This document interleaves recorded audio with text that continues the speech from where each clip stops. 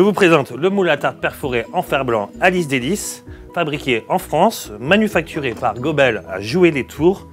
Alors, ce moule existe dans trois dimensions, en 20 cm, 24 cm et 28 cm.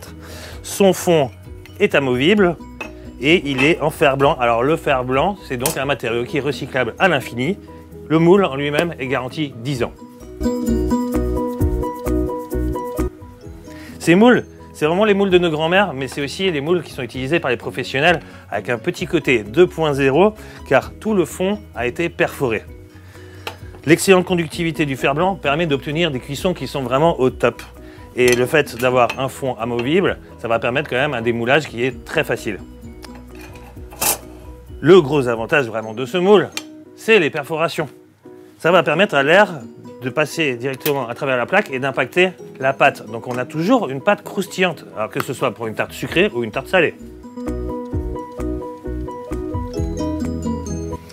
Petit conseil, les moules en fer blanc, il faut toujours bien les chemiser. Alors pour chemiser votre moule, vous pouvez utiliser un pinceau en silicone de ce type. Donc il faudra bien beurrer. Encore plus simple, on peut utiliser une bombe de graissage, un spray. Donc il suffira de bomber le moule. Vous prenez un petit tamis, vous tapez votre farine.